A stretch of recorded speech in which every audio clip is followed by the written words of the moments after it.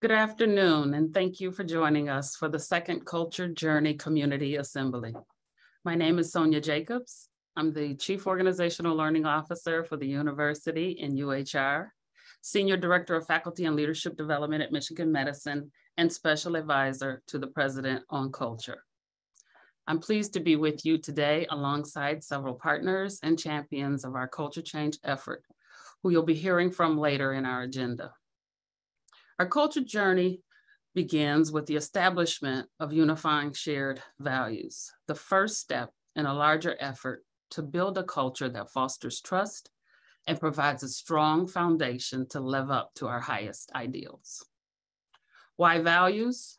because values inform the behaviors and norms that we expect to see. They guide our choices and should be reflected in everything we do, from how we hire and promote, make decisions, educate and conduct research, and treat one another. Values should reflect who we are and what we stand for. The unifying shared values are the foundation to our culture and can help us build one where everyone can thrive. Since our Culture Change Community Assembly in May, we've begun to implement the first recommendation put forth by the Values Identification Working Group, which was to continue engaging with our community to narrow down the list of values and begin to define them. We look forward to sharing more about what we've learned, the process we've engaged in, and answering your questions. Before I introduce our first speaker, I want to invite you to use the Q&A function throughout our session today to submit a question. Though time prevents us from answering every question live, we will be reviewing them all to be answered on the FAQ page on our website, culturejourney.umich.edu. With that, I am honored to introduce President Mary Sue Coleman to deliver remarks. President Coleman. Good afternoon. I want to thank Sonya Jacobs and Patricia Hearn for leading this critical initiative and hosting today's assembly. Since returning in January as president, I have made it a priority to help restore trust and faith in U of M. This past year has been unlike any other in campus history, and I appreciate the support I have received from so many on campus. I know that change and transitions can be hard. I want to thank Sonya for her wise counsel on the ways to make the university more inclusive, compassionate, and equitable. I will step down as president on October 13th, two weeks from tomorrow. I want to assure you, though, that our 15th president, Dr. Santa Ono, is aware of your work and its value to the university. The commitment to culture change is a university priority and one that he will embrace and promote. It's equally important to reinforce that we all have an obligation to uphold our values as a place of learning, teaching, working, and healing. This was so apparent to me as the regents conducted their search for a new president. When they asked for input from the community, there was this overwhelming response integrity matters. It was a profound and reassuring reflection on our faculty, staff, and students that so many came forward to say this. It told me and the regents that this is a community with high standards and high expectations. Shared values of integrity, compassion, respect, accountability, these give us a roadmap as a major institution. I believe that our moral compass is true, but we cannot be complacent about voicing and upholding our shared values. I know we've all been hurt by the episodes of sexual and gender based misconduct of recent years. It's been traumatic for many people. But I'm proud of how we have responded and how we continue to respond. We can't underestimate the amount of work that has been done in this area. We're going through all levels of the institution and are being very explicit about where we failed and where to put policies in place to uncover potential problems more quickly. We need to be more nimble, and we're getting there. In particular, I am pleased that we now have the CCRT, the Coordinated Community Response Team. This is a collaborative group of 30 people charged with discussing misconduct issues and providing input from different perspectives. The CCRT is another important step toward our vision of becoming a national leader in protecting our community from inappropriate behavior and sexual misconduct. I've repeatedly said that I want Michigan to be at the forefront of making college campuses safer, welcoming, and responsive. We will never be perfect, but we must never relax our efforts to create a culture that is safe and respectful. We can't say, okay, we fixed this. That was one of our problems in the past. We've said we fixed it, but we didn't have any mechanisms in place to continue the conversation. We must keep focusing on this. That's why today's assembly and the overall work of culture change is critical. We must hold each other accountable, lift each other up, always. We all have an obligation to do this at all levels of the university. If we don't, we are not a true community. I appreciate your dedication, patience, and optimism. By taking part in this culture journey, you're contributing to our understanding of what is needed to make U of M a place where all people feel safe and can thrive. You should feel very good knowing that you're making a difference. Thank you.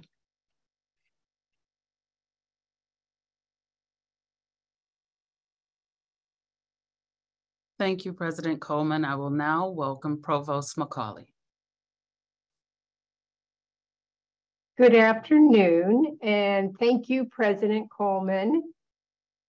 And welcome to everyone. I'm very pleased to join you as we continue our work on this important topic together.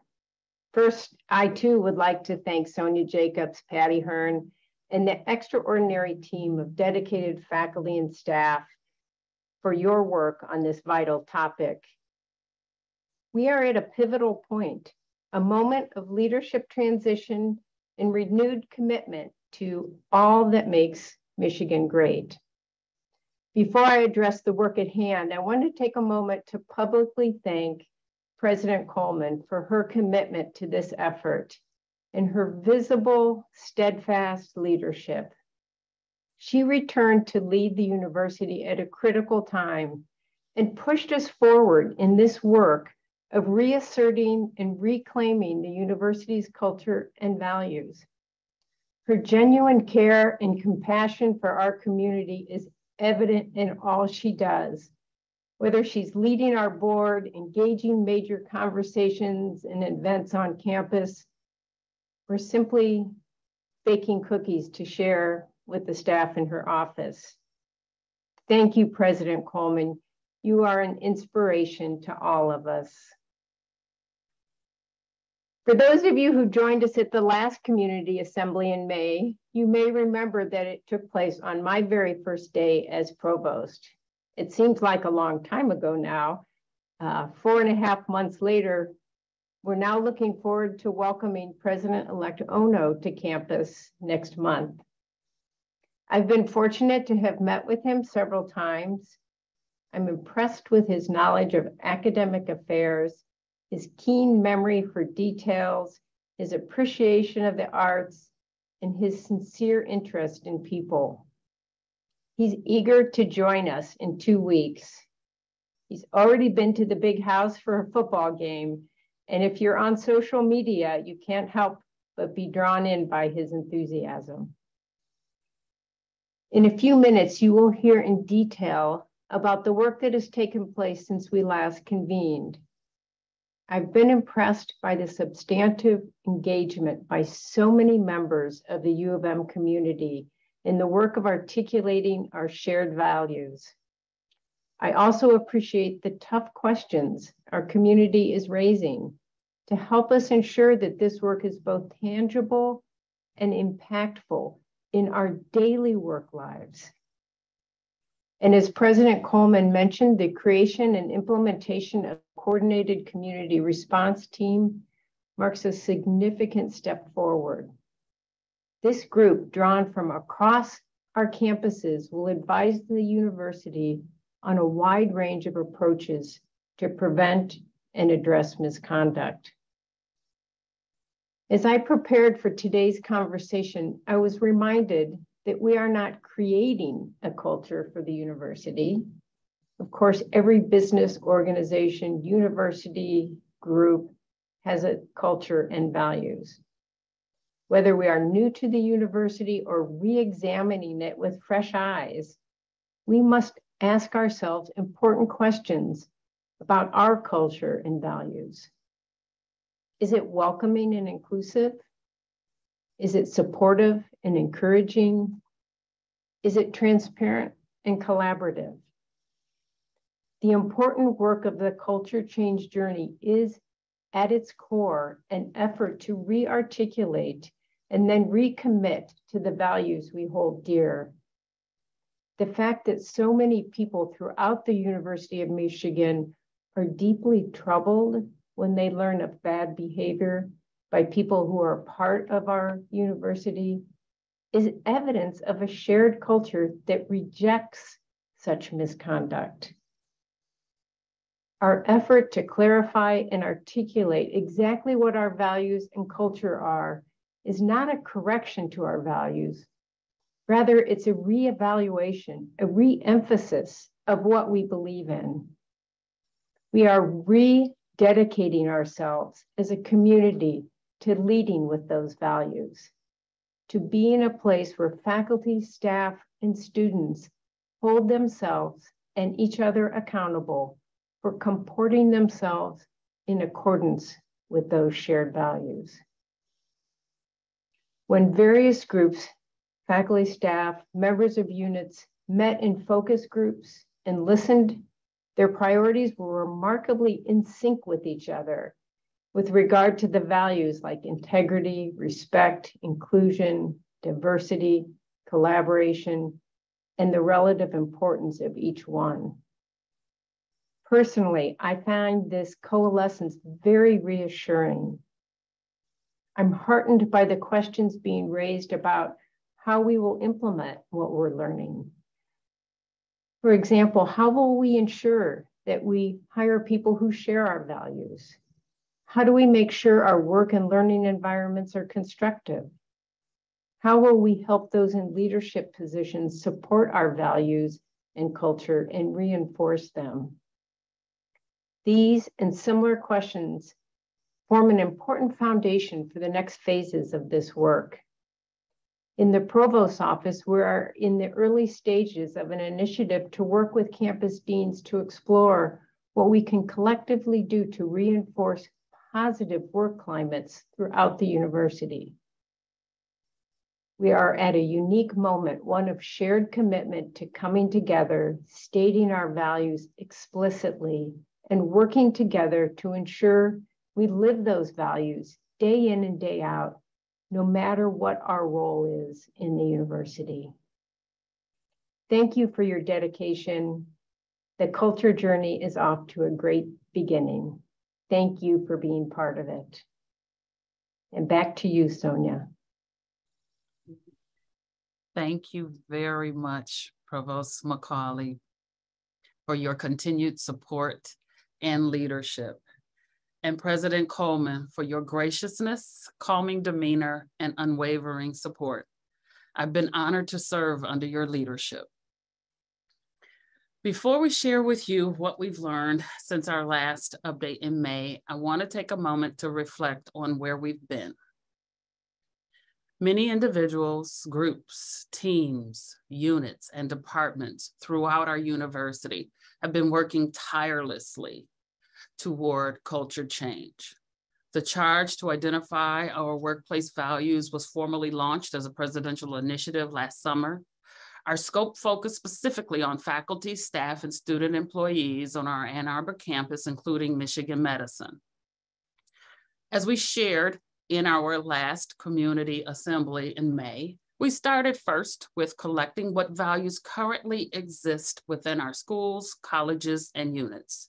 Through feedback from stakeholder groups, a university-wide poll, and focus groups with faculty and staff, we further deepened our understanding of our community's thoughts and their experiences of our culture. After qualitative and quantitative analysis of our data, we presented our findings to our executive officers in June, along with recommendations for future work. These findings showed our top values in consideration to be collaboration, community, diversity, equity, excellence, inclusion, innovation, integrity, respect, service, and transparency. Since then, we launched our second Pulse poll that closed earlier this month, carried out nine additional focus groups of faculty and staff, and convene an ad hoc advisory committee of stakeholders to further define our values. This fall, we will continue to gather input from our stakeholders to determine a common definition for our values before presenting values and definitions to our executive officers. Now, here to share with you our preliminary findings, I'd like to invite my colleague, Carmetta Stokes, Strategic Initiatives Consultant in Organizational Learning, to share what we've learned from our most recent community engagement efforts. Carmetta? Thank you, Sonya.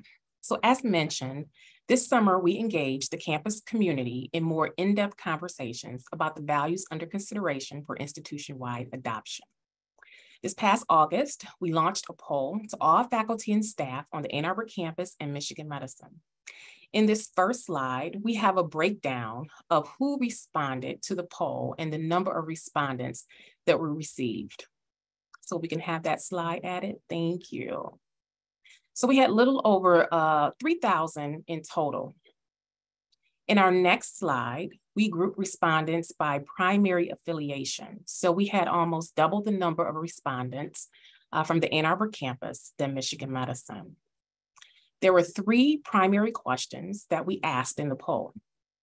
Here on the next slide, we have the responses to the first question of whether diversity, equity, and inclusion should be combined as one value for U of M or stand as three separate values. 52% of respondents indicated that DE and I should be combined as one value. And approximately 42% of respondents indicated that DEI should be listed as separate values. An additional 6% of respondents chose other. In our next slide, um, we asked the question of whether or not excellence should be considered as an outcome, so a standard of behavior, or as a value, a consequence of behavior. Almost 61% of respondents indicated that excellence should be considered as an outcome versus 39% who indicated excellence should be considered as a value. The third question posed was an open-ended question. We asked if we had shared institutional values to which every faculty and staff member was held accountable, what would accountability look like? We received over 1,700 responses to this question. And the list here represents the preliminary themes that emerged based on analysis conducted by ISR. So these included, there is accountability at the leadership level. So leaders are held accountable for their actions and problematic behaviors are not allowed to persist based on individual's title or position of power. The same standards and expectations for behavior apply to everyone. So people are held accountable to the same standards and individuals are treated the same regardless of their position, title, rank, or status. There are consequences for individuals who act in ways contrary to institutional values. So suggestions for actionable consequences ranged from restorative justice opportunities that are not punitive in nature to termination of employment. The organization follows through on its express goals and commitments. So basically doing what we say we're going to do, keeping track of our commitments related to the values, and challenging ourselves and others to follow through on these commitments. Um, there's transparency for decisions as well as ownership when mistakes are made. So examples included being transparent about the outcome for those impacted by decisions, apologizing and listening when mistakes happen, articulating what steps will be taken to correct an issue, and establishing an action plan to move forward. Values are integrated into performance reviews at all levels.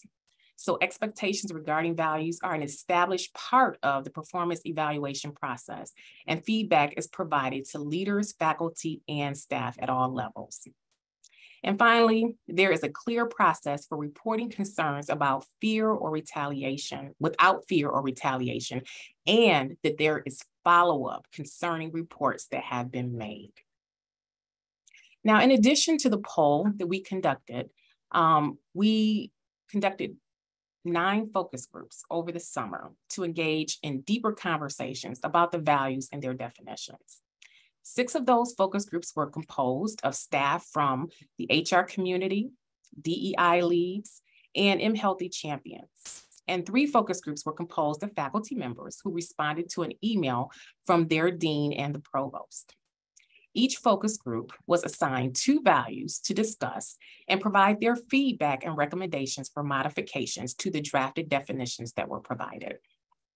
Focus group participants were also asked to respond to two primary questions related to adoption and socialization of those values. The first question posed asked participants to share what concerns they might have with adoption of institution-wide values and definitions once they have been finalized. As indicated on this slide, both faculty and staff emphasized that leadership commitment and, and accountability is essential for success. So for instance, leaders modeling the values, addressing account accountability and retaliation, and investing time and resources. Both groups also stated that effective socialization and integration strategies are needed to support U of M community buy-in. So ensuring that there is common understanding of the values, acknowledging espoused values versus lived values, and also addressing change fatigue. Both groups also suggested that a measurement um, assessment plan is needed to address questions concerning how we might monitor and evaluate our efforts over time. Additionally, the importance of having opportunities to learn and have conversations about what the values mean for the individual, the team, the unit, and how we might integrate them into our everyday work came up in the staff focus group. Additionally, faculty strongly advise that values identification should not be a university's rebranding effort, but instead be an earnest effort to fundamentally improve our culture. On the next slide, um, focus groups were asked to provide recommendations on how to best communicate institution-wide values and definitions to the campus community. As you can see, both faculty and staff suggested that utilizing a broad communication and engagement plan was needed, such as communicating via forums, town halls, video, using video campaigns, and social media in addition to email. Suggestions also included implementing a phased, themed rollout approach, along with providing discussion toolkits and materials to units. Staff and faculty also noted the importance of having leadership actively engage in this effort. So examples might be communications from leaders on why this initiative is important to them, what action steps they will take to model the values, and how accountability will be addressed at the top. Additionally, faculty noted the importance of faculty engagement in this effort. Suggested ways to participate included discussion of values with other faculty members and their deans, and the development of action steps to operationalize the values. What I've just shared is, high, is a high level snapshot of what we have learned thus far from the campus poll and focus groups. More in-depth qualitative analysis is underway, and we look forward to sharing more details in future communications. So with that being said, Sonya, I am handing the mic back to you to, to kick off our Q&A portion of the session. Great. Thank you so very much, uh, Carmetta.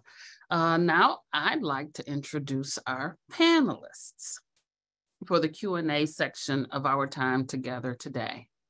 President Mary Sue Coleman is joining us again,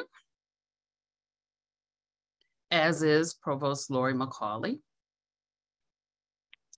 And I'd like to introduce Rich Holcomb, Associate Vice President for Human Resources, Tabbye Chavous, Vice Provost for Equity and Inclusion and Chief Diversity Officer in the Office of Diversity, Equity and Inclusion, and Katrina Wade Golden, Associate Vice Provost for Equity and Inclusion and Deputy Chief Diversity Officer in the Office of Diversity, Equity, and Inclusion. Thank you all for being here today. When we invited our community to this event, we asked for questions to be submitted for our panelists to address. We will also leave some time for questions submitted live. If you have a question, please enter it into the Q&A. Even if we don't get to it today, we want to hear from you to inform our FAQs on our website. So the first question is for President Coleman. What is the top priority for the university as an institution to restore trust within the university community? And how are we going about achieving it? Well, Sonya, you and I have talked about this uh, quite a bit, and it's just going to be a process. And I think by our deeds, by our willingness to set up the CCRT, which will be a way to bring people together to coordinate what they're hearing on campus, their concerns. Um, and I think for us, uh, having these sessions, I mean, you know, a, it, it's really important that we not just say, okay, we've set up this committee, it's going to take care of all the problems, you know, and wash our hands of it. No, we can't do that. It will take time. Culture ta- change takes time.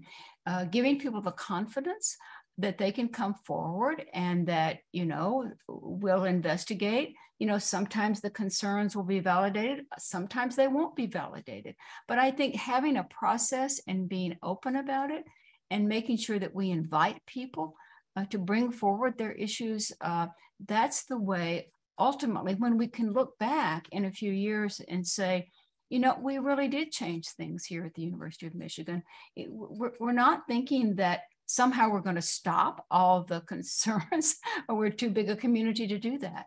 Uh, but I think the effort in involving so many people is really a, a very, very important next step that we're taking. Thank you very much, President Coleman. And the common theme I'm hearing there is inclusion. So I'm going to uh, pose this next question to Provost McCauley. We say we want to create a culture that promotes a sense of belonging and inclusion.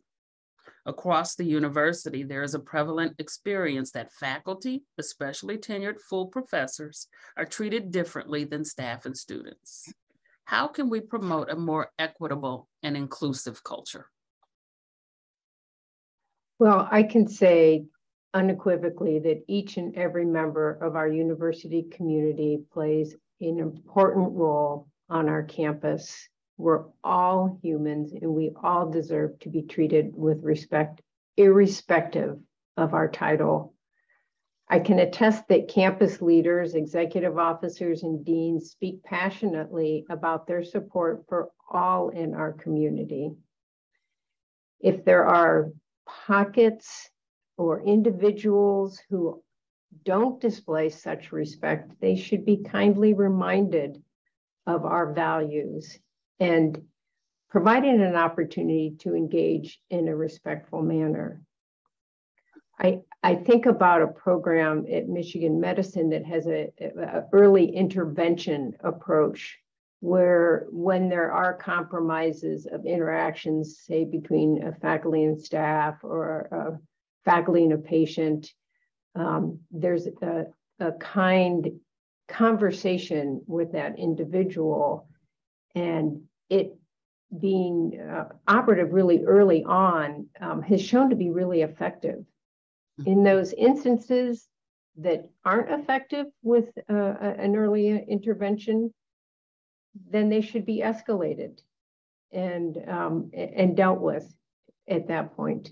But I think one of the keys is us all understanding and, and agreeing on the values and then looking at approaches for early intervention, um, which have been shown to be very effective.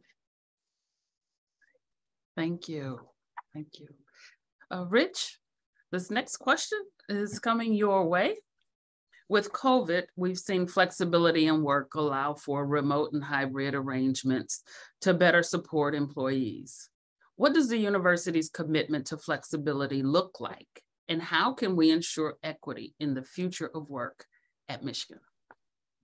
Well, thank you, Sonya, for that question. A really important topic. And, you know, I, I want to first say that I think our campus community has showed tremendous resili resiliency uh, over the past number of years and adapting to our situation and our environment while still trying to serve our missions. Really important most campus units have really worked hard, I think, to balance uh, the operational needs uh, with the employee preferences.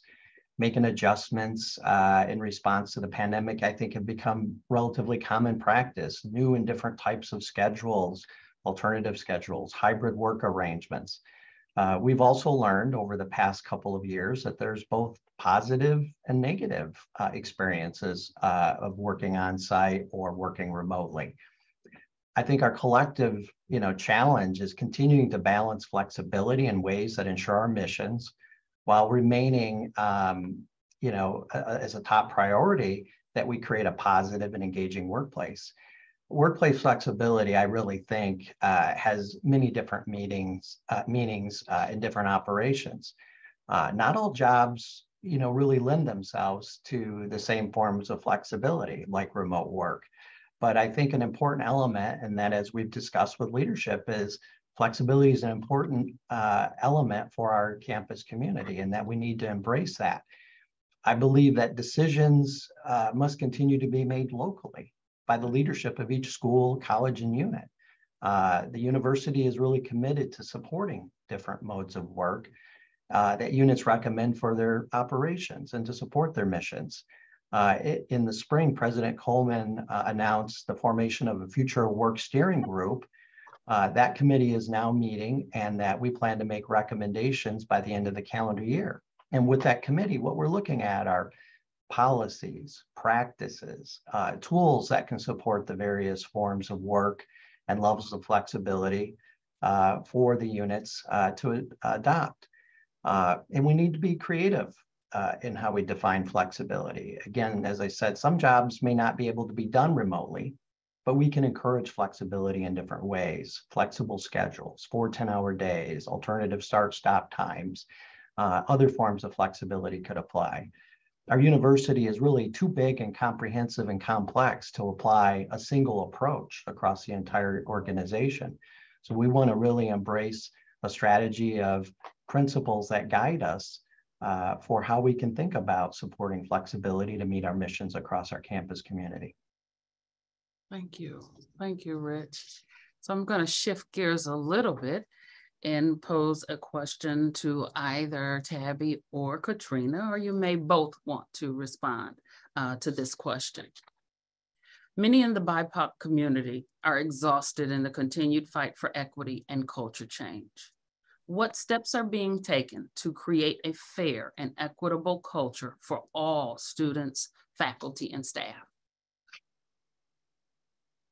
I'll jump in. Um, afternoon, and thank you for inviting me to join this panel um, around these really important issues um, and um, this partnership with the Values uh, Change Journey.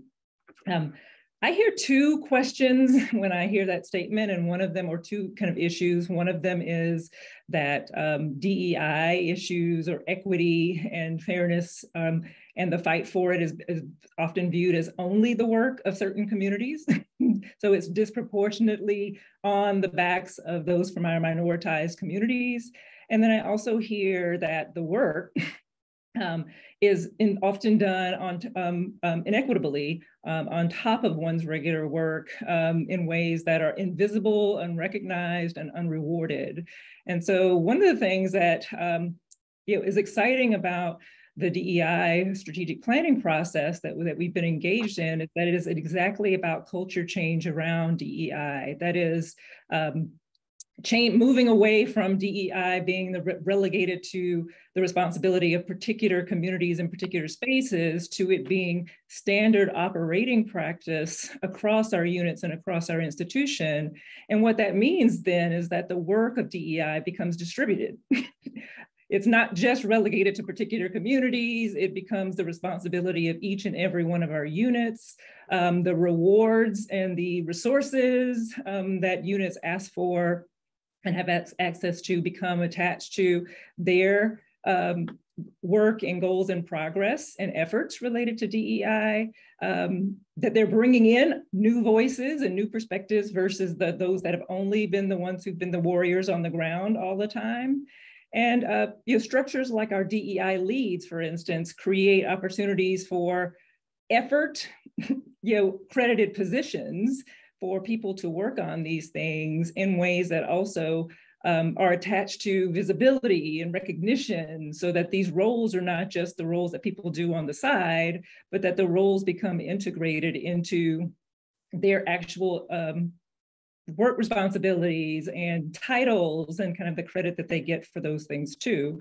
I mean, the work also becomes more strategic because they're part of a broader community where the work is not just relegated to individuals who are trying to figure it out on their own, but we're providing a, a structure to support strategic planning and engagement, also in conversation with their unit leaders so that they're not doing the work on their own, that we're a part of the accountability structure to support um, you know, uptake of these issues. So I'll say that that is an important kind of part of the culture change agenda um, and we have indicators, we've just shared some information yesterday in our climate survey session that our community is seeing progress in those spaces.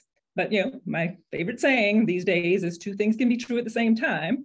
Um, and like we also see that people are continuing to name um, the fact that we are still uneven on across our campus um, around the ways that you know inclusion related to you know uh, opportunities for advancement for our you know, staff and our faculty, um, for our hiring and our admissions that are happening not evenly across the campus. So I think that um, we are seeing progress because our strategy is naming the work as essential work, not just siloed work and also name and also providing structures to recognize and reward the work both at the individual level but also at the unit level. And we think these things, you know, as we continue forward um, on this path will make a difference and also relieve the burden that's been disproportionately carried by so many.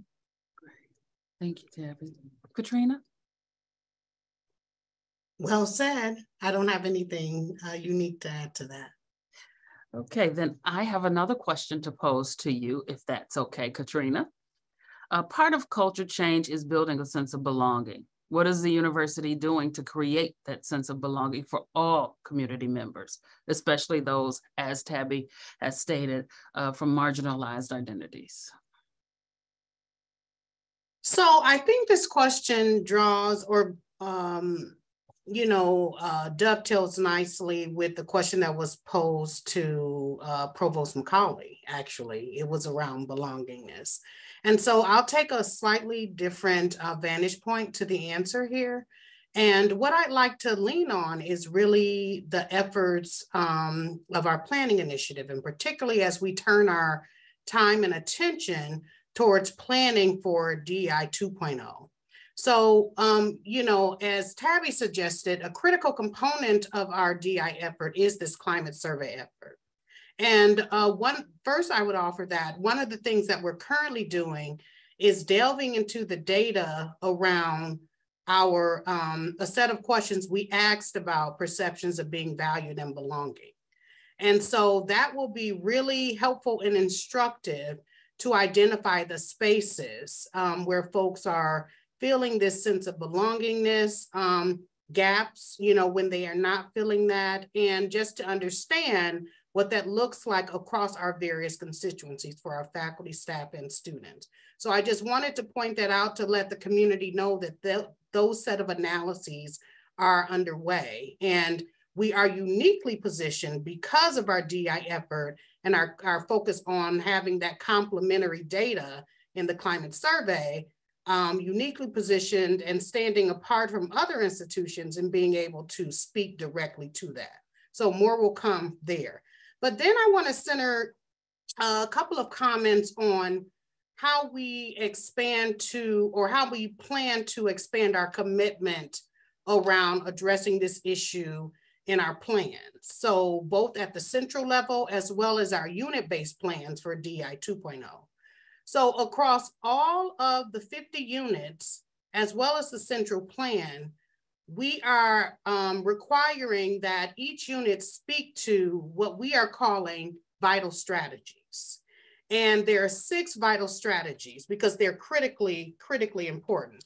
So one is that each plan should be speaking to, and I'll just briefly list them, how the unit plans to take up recruitment issues so that we are ensuring that our community, student, faculty, and staff are, um, that that is diverse, how are we addressing hiring and selection um, in our local spaces?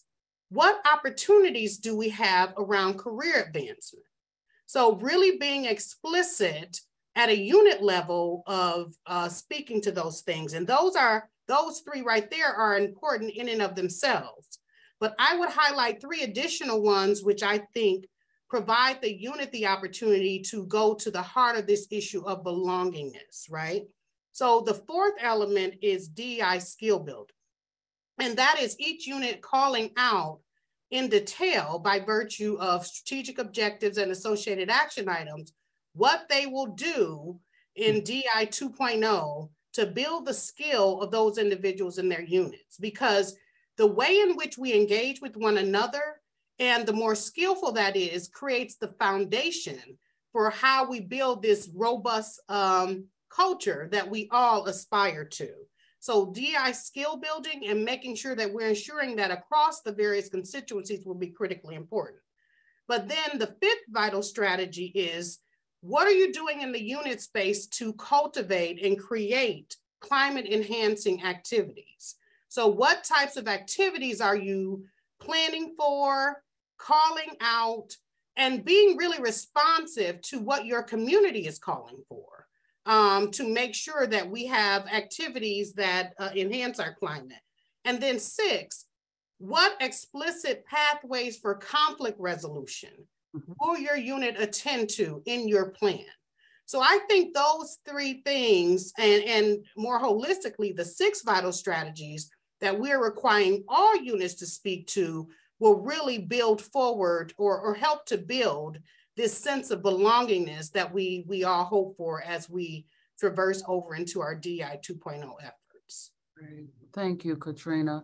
One of the things that I am hearing in you all's comments relate to the processes and, and more specifically, how are we integrating these uh, values and behaviors into what we do every day.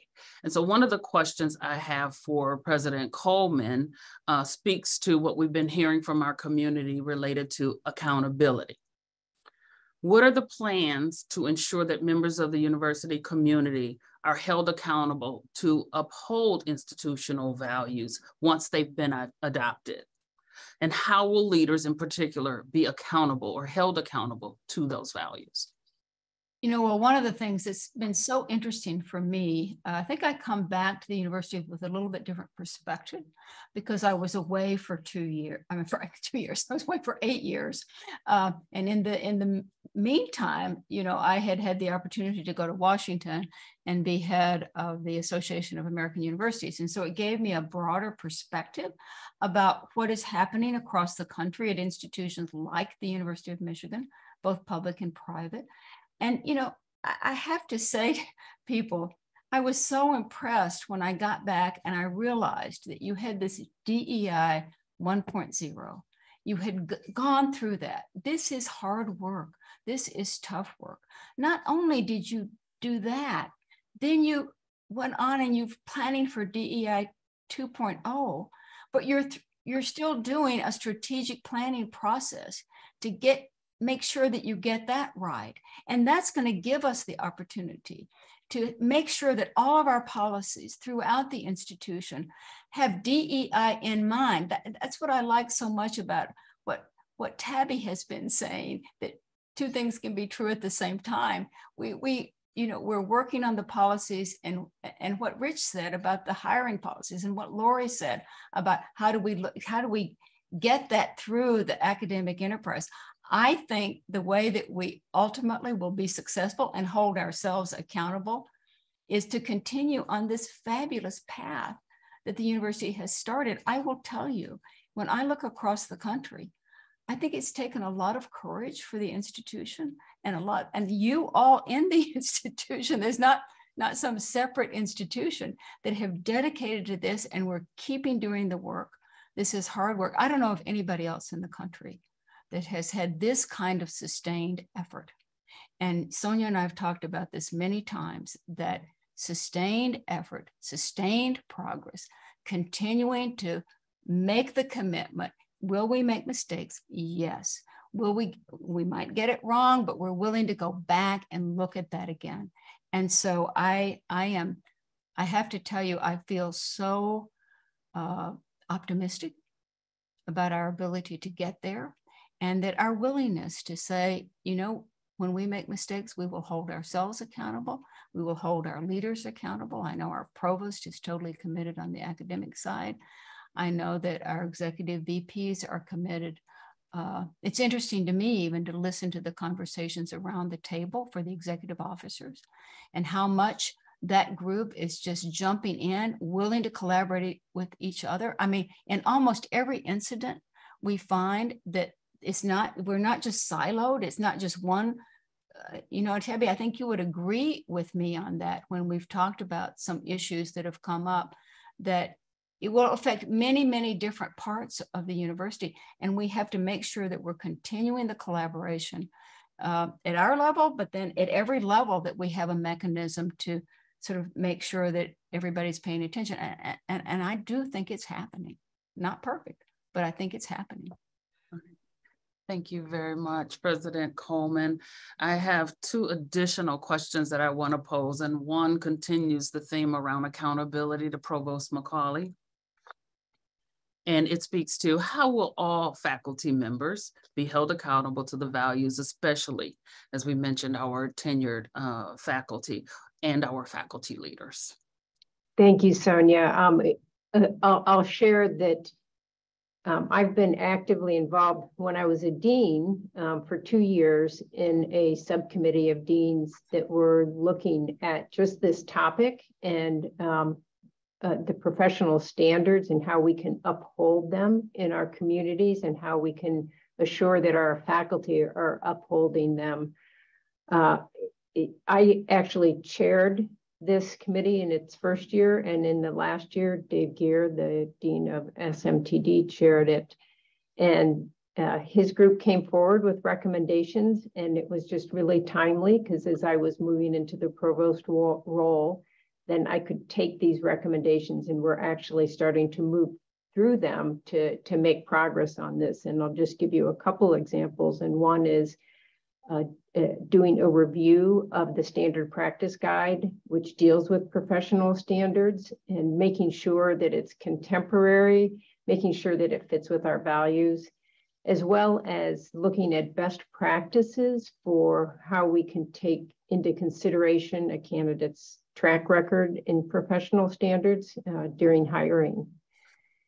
Uh, we, we're also spending a fair amount uh, um, effort in training our leaders, our campus chairs and deans, continually reinforcing to them their roles, their responsibilities in this regard, and also providing them with toolkits of how they can they can uh, really deliver on uh, this goal. We do that through leadership events on our campus and continually best practices, sharing them across and actually giving them case scenarios to work through so that they can really put themselves into positions and be able to see uh, how they would think about different scenarios. Um, I mentioned before a subset of campus deans that are now focusing on establishing positive climates and how they can, as leaders, establish positive climates because we are committed that if we can really focus on establishing positive climates, that will diminish some of the negative or um, uh, behaviors that uh, we're trying to combat. And as President Coleman said, you know, this is not easy work and we're not perfect. And I think we need to give ourselves some grace during those times, but pick right back up and, um, and, and keep our focus and our determination to what we really believe in, which is following the values that our community um, is getting behind. Great. Thank you very much, Provost McCauley. I've got one more pre-submitted questions and then we're going to open it up to uh, live questions. This last pre-submitted question is to you, Rich. What is the university doing to eliminate bias in hiring and diversify our workforce?